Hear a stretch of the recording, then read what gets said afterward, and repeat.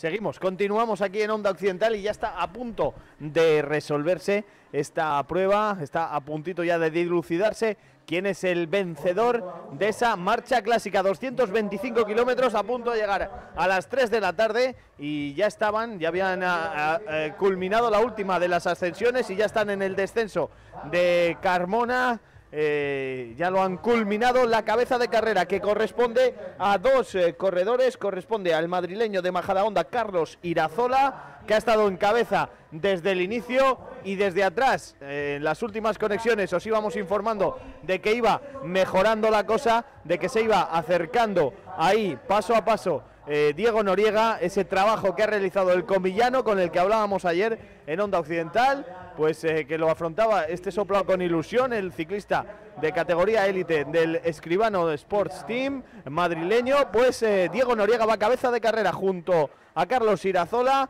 así que prontito vamos a tenerle aquí en línea de meta, ah, vamos a ver si entre los dos, si ha habido entendimiento, eso está claro, ninguno de los dos ha conseguido distanciar al otro y estamos eh, a la espera de daros ya la información lo antes posible de cómo se culmina esta eh, prueba de los 10.000 del soplao. Os recordamos que la victoria en la modalidad que llamamos corta, que son 124 kilómetros, eh, la marcha cicloturista, la victoria ha correspondido a Dailos Díaz, segundo David Gutiérrez, el, el de Hinojedo y tercero el de Abaño, residente en Cabezón de la Sal, Raúl García Peña, otro de los habituales, Dailos Díaz, el tinerfeño, ex ciclista profesional, el único ciclista profesional canario afincado en Cabezón de la Sal y que tenía esa invitación por parte de la organización con tantísimos ex ciclistas, muchos de ellos pues han pasado por aquí por estos eh, micrófonos a lo largo de este fin de semana. Ayer hablábamos con eh, históricos como eh, con históricos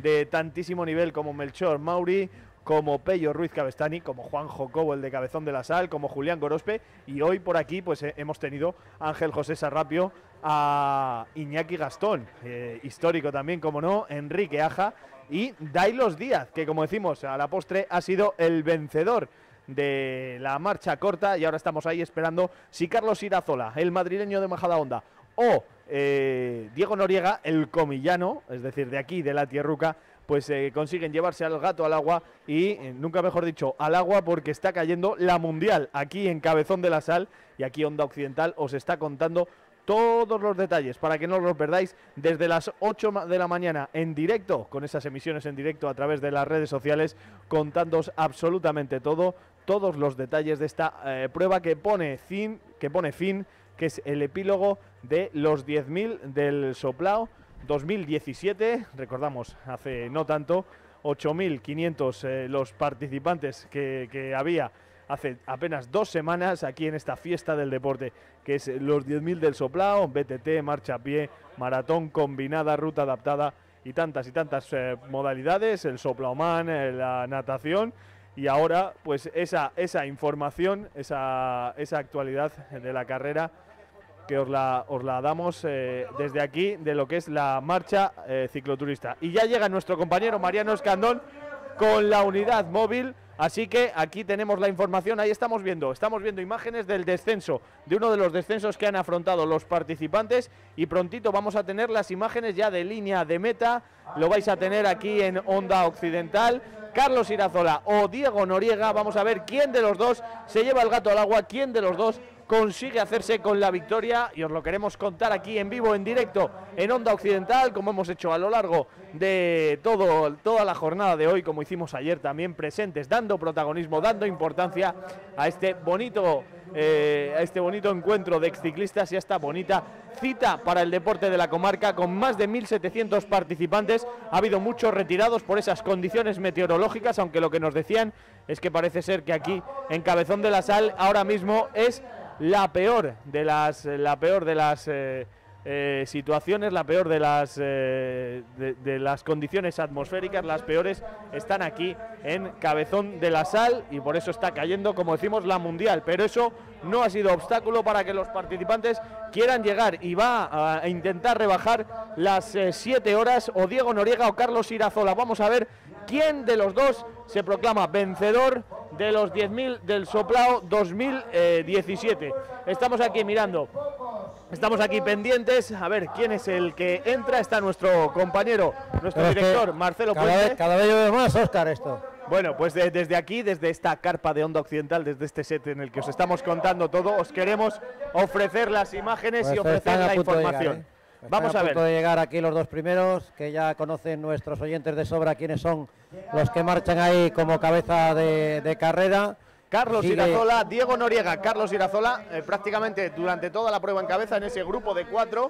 Y eh, el eh, corredor comillano Diego Noriega, que desde atrás ha ido remontando, aprovechando ese conocimiento del terreno, porque es donde entrena el corredor de la categoría élite el corredor de comillas. Y ahí están entrando. Entrando atención, línea de meta. Atención, línea de meta que vienen. Ahí está el duelo. la línea de meta. Vamos a ver quién es el que se lleva el gato al agua, Carlos Irazola o Diego Noriega. Uno de los dos va a alzar los brazos o no sé si serán los dos. Pues ahí están entrando. Vienen, a, entrando la junto. Pues hay acuerdo, hay acuerdo entre ambos y no, no, no. No, no, llegan. No eran, eran de la marcha y ahí sí que entran juntos Diego Noriega y Carlos Irazola. Ahí están los dos cruzando la línea de meta. Diego Noriega. Diego, Noriega. Diego Noriega, vencedor de los 10.000 del Soplao, el vencedor, el primero en cruzar la línea de meta, el comillano. No, no disputaron, Oscar, no disputaron ni siquiera el sprint. Eh, Diego Noriega echó su mano derecha hacia atrás para darle la mano al compañero de fuga para entrar los dos de la mano, ni siquiera hizo intención y entró Diego Noriega con Carlos Irazola. Diego Noriega entonces vencedor y Carlos Irazola segundo clasificado aquí en eh, los 10.000 del Soplao en esta modalidad de marcha eh, de la de la marcha clásica, de la distancia de 225 kilómetros en menos de 7 horas, pues Diego Noriega, vencedor, junto al segundo clasificado, Carlos Irazola. Vamos a ver si podemos hablar con ellos, aunque me imagino que con la caladura que tienen, pues querrán, querrán eh, ponerse a cubierto. Intentará nuestro compañero Mariano acercarle aquí al, al set de comentaristas ya para despedir lo que hemos venido realizando desde las 7 de la mañana y en la jornada de ayer con, todas las entrevistas que habéis podido ver colgadas también en el Facebook de Onda Occidental Cantabria, pero nos gustaría cerrar con el vencedor de la prueba larga y vamos a intentar que se acerque por aquí al micrófono de Onda Occidental para poder hablar con él. Y, Chuchi Maestegui que pasa por aquí, vamos a ver si podemos hablar un segundo con él. Viene con la bandera, con él. Vamos a ver si podemos hablar un segundito con él. Un segundo, vamos a Para hacer ese balance, ese balance eh, de lo que ha sido los 10.000 de soplado. Pasa aquí delante, no pasa absolutamente nada. Y aquí tenemos a Chuchi Maestegui. Aquí estamos en directo en Onda Occidental y en Megavisión. Chuchi, hoy, hoy sí que ha sido un infierno cántabro.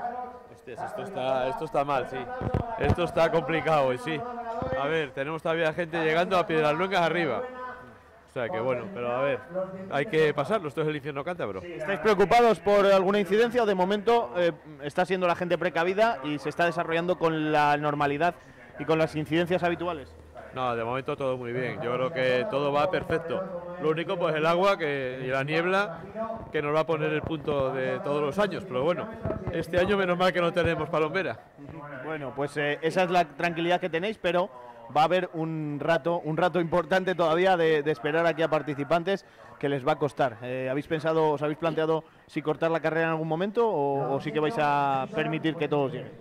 No, cortarla no porque no hay alternativas. Ya una vez que pasas eh, Puente y tiras para arriba ya no hay vuelta atrás. Entonces ahora, pues bueno, cogeremos furgonetas, vehículos, intentaremos ir por detrás y ayudar al que no esté en condiciones de llegar y traerle para acá. ¿Va a haber una cifra importante de, retirados? Pues la verdad no sé ni los que han salido. Ah, el día por ahí en el coche dando vueltas, pero bueno, oye, yo creo que Retirados muchos, muchos creo que no hay. Ya veremos a ver de los que quedan por ahí los que tenemos que retirar. Bueno, eh, todavía queda un poquito, pero momento de hacer balance. Satisfechos habéis quedado. Ese encuentro de exciclistas, uno de ellos además de los días, afincado en cabezón de la sala el Canario, pero feliz eh, de, hacerse con la victoria. Sí, la verdad es que, oye, esa iniciativa, como hemos hablado otras veces, empezó el año pasado. Yo creo que este año se ha consolidado, tiene que ir a más, contentos con, con esa parte del soplado y el día de hoy, oye, la participación bien, hemos tenido una primera parte perfecta, yo creo que ahora nos toca rematar y contentos del soplado, sí. Aquí te tenemos con la bandera, con todo, así que te dejamos que vayas eh, ahí a, a seguir organizando un poquito todo y que salga todo muy bien. Muchas gracias, Chuchi, por las facilidades que nos has dado. Nada, gracias a vosotros. Pues un placer, continuamos aquí, vamos a ver si podemos tener a los eh, protagonistas lo antes posible. Chuchi Maestegui que tiene que ir a, bueno, pues a seguir coordinando un poquito lo que es el soplao. Queríamos traer a- esa labor. Queríamos traer a Diego, pero están, están eh, bueno, tiritando, están tiritando. Nuestra intención era traer a Diego Noriega hasta aquí, pero han ido a cambiarse de ropa, a darse una ducha caliente, cambiarse de ropa y por lo tanto no podemos tener ahora mismo aquí a Diego Noriega, el vencedor en esta larga de los 10.000. Esperamos, esperaremos para, para saber ya quién es el tercer clasificado y culminar ese, ese podio o, o cortamos ya. Bueno, esperaremos si, Y si Diego a Noriega con mucho puede- retraso. Bueno, ahí había la, di- la diferencia era de tres minutos, dice ahí en el harto, pues vamos Bueno, a pues ver. estará a punto de Pues llegar estará- ya esa tercera unidad aproximadamente en unos minutos estará aquí en línea en línea de meta. Pues vamos a esperar, vamos a esperar aquí para poder daros esa información, ya para poner el broche a los eh, 10.000 del Soplao 2017. Este despliegue, bueno, el broche le ponemos en lo que es la información en directo, pero por supuesto el lunes en pitido inicial habrá más información y esas imágenes maravillosas que han recabado nuestros compañeros eh, ahí sin eh, dificultades. eh, o con muchas dificultades, pero sin que nada se anteponga a su labor, pues eh, os vamos a dar toda esa información. Así que vamos a ver, vamos a ver si conseguimos tener ya en meta al tercer y último, eh, al tercer clasificado y último componente integrante del podio. Recordemos, en categoría eh, de 124 kilómetros, Dailo Díaz, eh, David Gutiérrez y, como no, el tercer clasificado, Raúl García Peña. Y ahora Carlos Irazola segundo y Diego Noriega primero, aunque pues parecía pactado y parecía que era cosa de, los dos. Es decir, que, puede haber hasta dos ganadores, ¿no? Dos ganadores aquí. en- Bueno, pues sí, la verdad es que como ya os contábamos, no ha habido, no ha habido disputa en ningún momento. Entraban además, se dio la casualidad que entraban dos o tres unidades eh, por delante de la prueba corta, que dificultaron quizá un poquito más la llegada de los dos que venían encabezando esa prueba larga, pero no ha habido disputa. Diego Noriega, más conocedor seguramente del terreno, entró primero ahí en la curva y no hubo por parte de su rival ningún tipo de, intento de sobrepasarle. Eh, Diego Noriega echó la mano derecha hacia atrás para alargársela a su compañero de fuga y entrar juntos y, y ni siquiera hizo por, por alcanzarle. Conforme con lo que había conseguido, ahí los estamos viendo en las imágenes,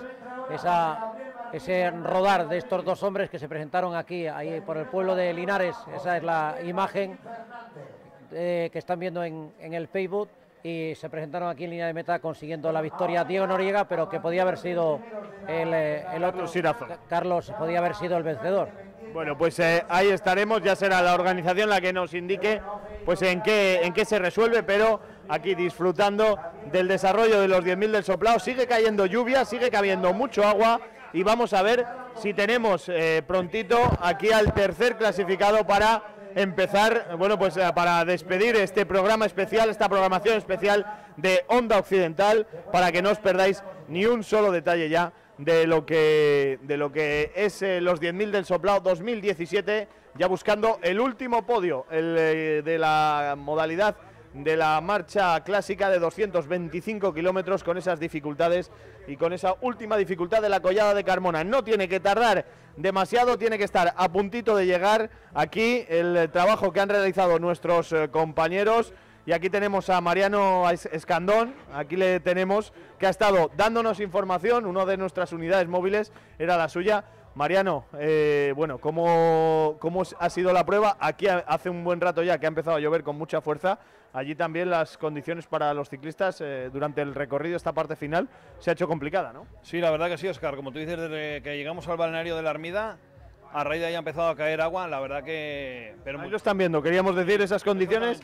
Diego Noriega, Esa es la subida en, justo en el alto del collado de Carmona y ahí es donde menos llovía.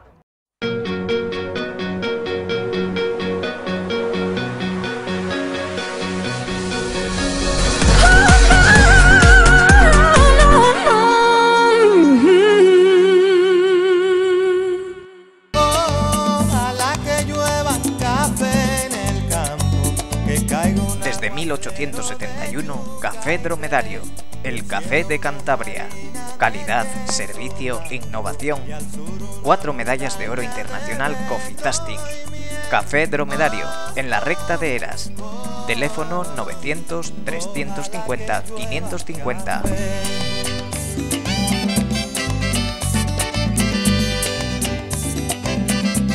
¿Eres de deporte en la playa o eres de deporte en la montaña?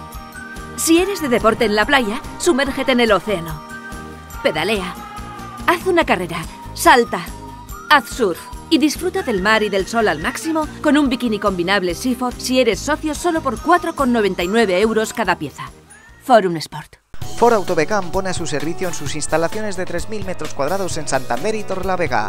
Zonas de recreo para clientes con cafetería y wifi. En Santander, parking exclusivo clientes en calle Castilla. Amplia exposición de vehículo nuevo, seminuevo y de dirección. 1.500 metros cuadrados de taller con las últimas tecnologías y un amplio equipo de profesionales. Somos los únicos distribuidores Ford en Cantabria. Descubre tu Ford. Autobecam en Torlavega Cartes y en Santander en calle Castilla número 62. Si tu jardín te desafía, acepta el reto con las máquinas de batería Steel. Silenciosas, ligeras, potentes y sin cables. Es el momento Steel. Disfrútalo. Hay más de mil tiendas especialistas en tu jardín. Encuentra la tuya en steel.es. ¿Eres de deporte en la playa o eres de deporte en la montaña? Si eres de deporte en la montaña, descubre nuevos paisajes. Acampa, explora, refrescate y disfruta de la naturaleza al máximo con la zapatilla anfibia Columbia si eres socio solo por 64,99 euros. Forum Sport.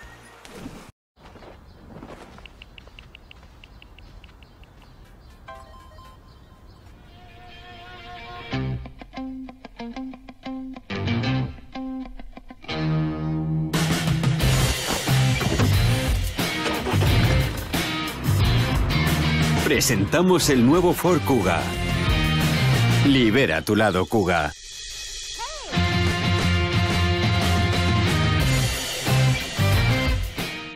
Ford Autobecán en Torlavega Cartes y Santander en calle Castilla número 62. Grupo Parte. Autopalas, concesionario oficial Opel en Santander y Torrelavega. Elige tu nuevo Opel y haz la prueba de conducción. Oferta personalizada. Opel OnStar, asistente personal de conectividad y servicio. Contacta con nosotros o ven a conocernos. Autopalas, concesionario oficial Opel en Santander y Torrelavega. Por su control integral desde que nace. Por su alimentación y cuidada crianza. Por su certificación hasta el punto de venta. Solo cuando una carne tiene la máxima calidad, Cantabria le pone su nombre. Carne de Cantabria, una marca que garantiza su calidad natural.